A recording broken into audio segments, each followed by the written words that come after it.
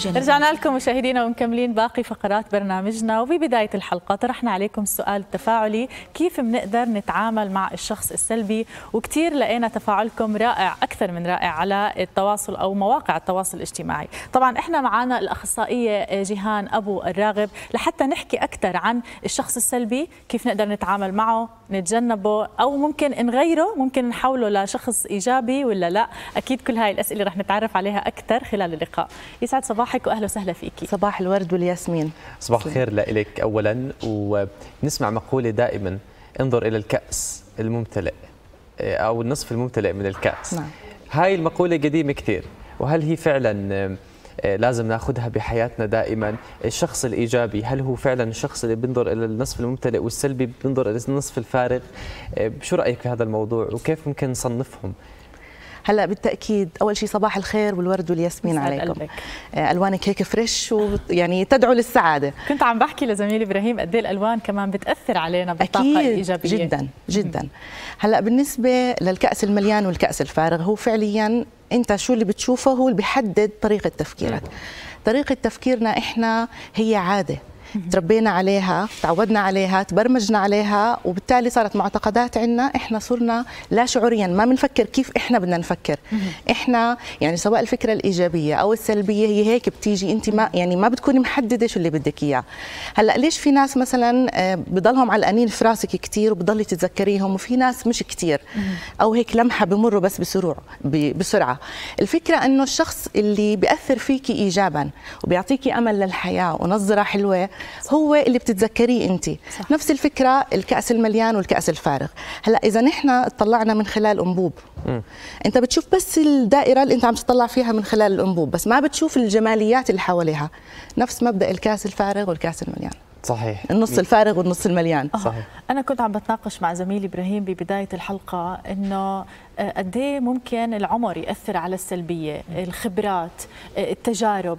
يا ترى بنعتبر إنه السلبية إنه إحنا كل ما وعينا وكل ما تجاربنا كانت أكثر بالحياة قلت السلبية السلبية عندنا ولا ما له دخل؟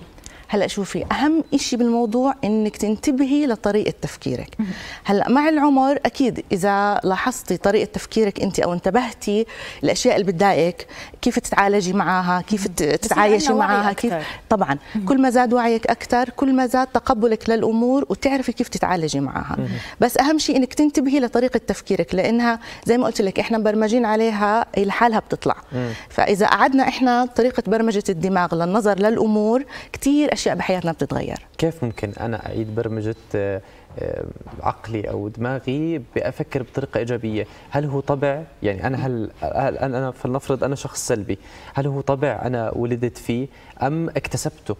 ممكن من اللي حوالي ممكن من طريقة التربية أو بغض النظر. هو مكتسب بالتأكيد 100% هي عبارة عن أشياء بتنبنى معنا معتقدات منذ الطفولة لحد ما تكبر. هلأ المعتقدات هاي الحلو بالموضوع وحتى الأفكار اللي هي بعدين بتصير معتقدات نحن بنقدر نغيرها. الفكرة اللي بتأثر علينا هي الفكرة اللي بتتماشى مع المشاعر. يعني فكرة مع مشاعر هي أقوى الأفكار بتكون عندنا بتصير معتقد بنبنى ولا شعوريا بنصير نتصرف بناء عليه. إحنا شو معتقدين؟ مثلا أنا معتقدة إني أنا شخصية مش محبوبة أو ما إلى ذلك. لا شعوريا هذا الشيء بيأثر على نفسي على ثقتي بنفسي على أفكاري وحديثي الداخلي مع نفسي. بتعامل معك على هذا الأساس. أنت رد فعلك رح يجي يعني بناء على الطريقة اللي تعاملت معك فيها. معاملتك لإلي هاي عم بتأكد عندي المعتقد اللي عندي. فمن هون نحن بنحكي لازم تتغير طريقة تفكيرنا لإنها كثير لها اثر على حياتنا.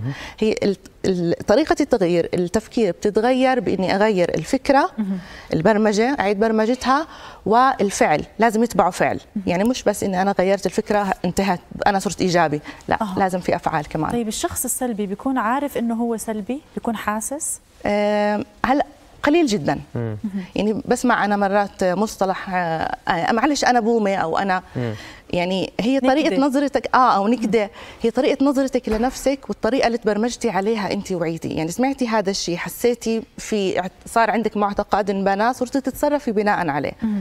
ففي ناس بيكونوا عارفين إنهم هيك لكن ممكن يكونوا مش هيك هم مم. هذا الأثر اللي انزرع جواتهم نعم طيب في ناس أو يمكن نحكي الاشخاص السلبيه بشكل عام آه، بتقسم أفكارهم. ممكن يحكي لك آه، فلنفرض آه، ناس بتتوقع إنه في كارثة رح تصير أو دائما في مصيبة بدها تصير. قاعد على أعصابه ولما دائما. يضحكوا كثير إبراهيم تصير تقول الله يستر من هذا اليوم. ضحكت آه. كثير يعني هدول ناس زي كأنه بستنوا قاعدين شيء يصير. في ناس بتنجز مهام بالآخر بتشوف إنها ما أنجزت شيء ما بتطلع على إنجازاتها.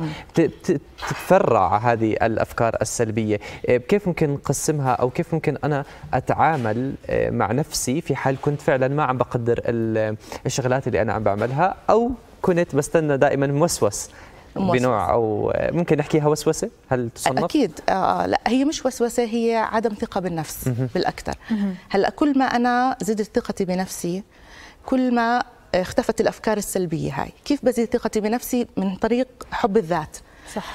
كيف أحب ذاتي ما لها علاقة أبدا بإني أكون أنانية, أنانية أبدا طبعا. الفكرة إنه زي ما أنا بحب شخص كثير كيف لما بكون متضايق أنا بطبطب عليه بحضنه بسمعه كلام نفسي. حلو آه بمدحه ب... يعني بدعمه مم. هيك أنا لازم أحب نفسي وأتعامل مع نفسي بهاي الطريقة مم. الكلام اللي بحكيه مع نفسي هذا كتير مهم لأنه هو اللي ببرمج العقل عندي. صح. وبالتالي بتصرف عليه.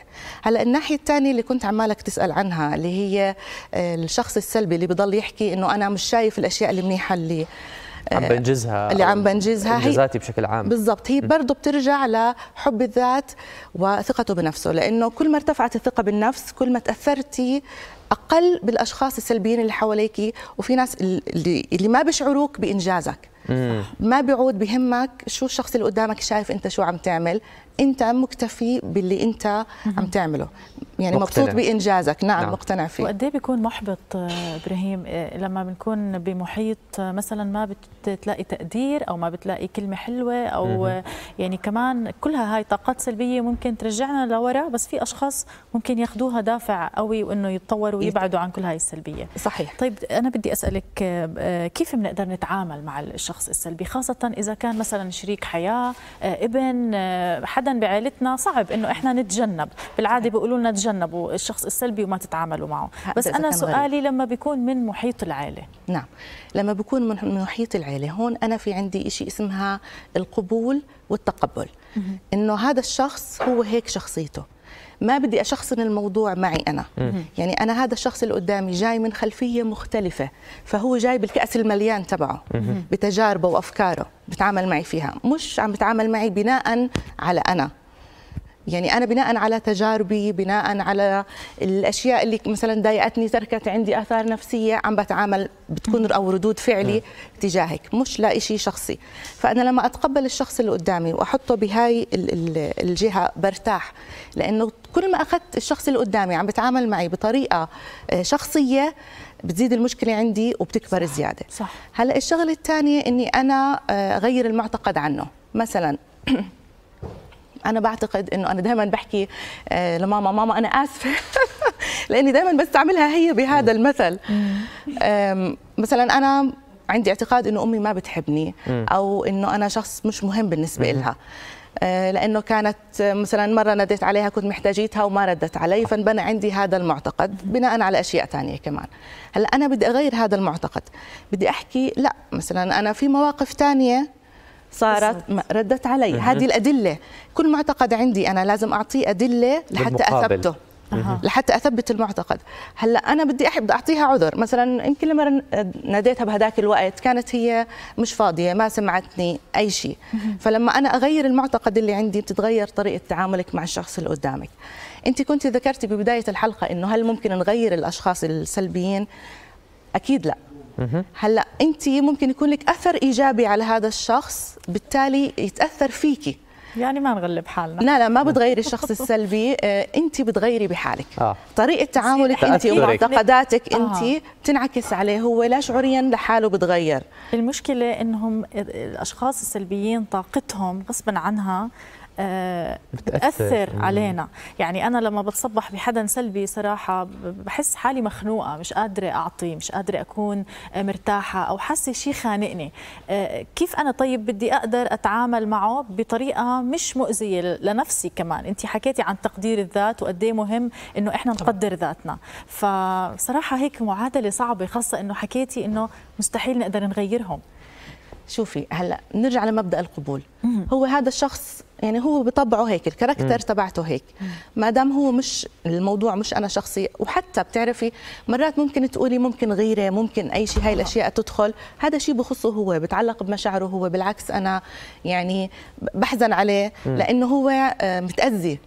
الشخص اللي بيأذي الشخص اللي قدامه اعرف إنه هو متأذي كثير وبناء عليها هو لا شعوريا عم بتصرف معك بهاي الطريقة مم. فانت لما برضه برجع ما بتشخصني المواضيع وبكون عندك ثقة انت أكثر بنفسك وسعيدة بنفسك ويعني خلص إنه هو يعني يعني الله يعينه مثلا على اللي هو فيه يعني. آه، بالضبط. آه، آه، نشعر معه. Exactly. لأنه هو هو متغلب بحياته بالزبط. فعليا. بالزبط. فإحنا لازم نوقف معه نحاول إن, إن نساعده ونحاول إنه ما نتأثر فيه. يعني هي بالخلاصة خلينا نحكي بالآخر هيك ما راح أقدر أغيره. ما راح تقدر ما نغيره. في قصة صغيرة بدي أحكيها أنا على هذا الموضوع. نعم.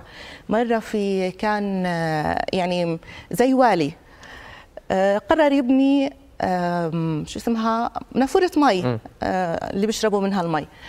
فكل يوم يجي بعد ما بناها كل يوم يجي يلاقي في أوساخ مرمية فيها. بعدين صار بده يعرف إنه مين وليش. ودى الحراس تبعينه على أساس يشوفوا مين. اكتشفوا الحراس إنه اللي عم بيعمل هذا الشيء هو ابن عمه. للوالي. راحوا حكوا له.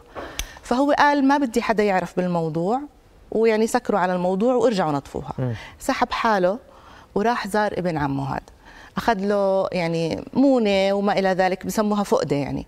فراح قال له أنا آسف أنا زمان ما مريت عليك يمكن أنت افتقدتني وأنا حسيت حالي إني اشتقت لك وحابب أشوفك وجايب لك يعني ان هاي الفقده معك يعني از ان اعتذار نعم. يعني له نعم. فتاني يوم راحوا ما لقوا فيه الاوساخ فهي يعني كان هو هذا كان ابن عمه إنه محتاج إنه أنت بدل ما تبني مثلا هاي إنه أنا محتاج نعم. إنه فأنت ما بتعرفي شو اللي بشخصيه شو اللي بنفسيه الشخص اللي قدامك. صحيح. نفهم وجهة النظر الأخرى خلينا نحكي. يعني في ختام لقائنا آه، موضوع جميل جدا ومعلومات قيمة. بدنا نشكرك على وجودك معنا. شكرا كثير لكم كل الشكر لك مدربة المهارات الحياتية جيهان أبو الراغب.